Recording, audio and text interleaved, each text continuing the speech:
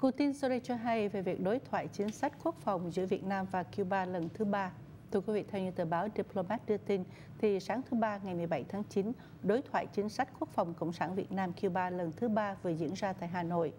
Buổi đối thoại được chủ trì bởi Thứ trưởng Bộ Quốc phòng Cộng sản Việt Nam Nguyễn Chí Vịnh và Thượng tướng Alvaro Lopez Miera, Tổng tham mưu trưởng Thứ trưởng thứ nhất Bộ Lực lượng Vũ trang Cách mạng Cuba.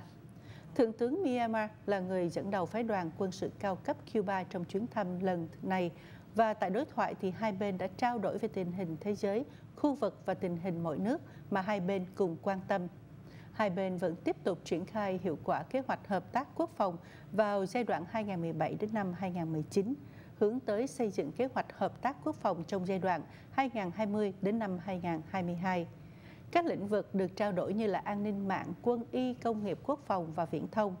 Nhà cầm quyền Cộng sản Việt Nam mong muốn trong năm 2020, Bộ trưởng Bộ các lực lượng vũ trang cách mạng Cuba sẽ sang Việt Nam ký kết ký kết về kế hoạch hợp tác giai đoạn 2020-2022.